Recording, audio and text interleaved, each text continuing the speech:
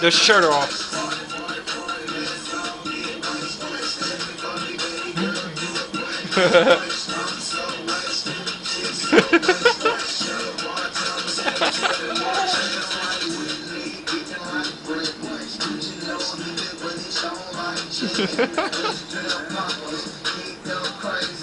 Alright, let's show Nana.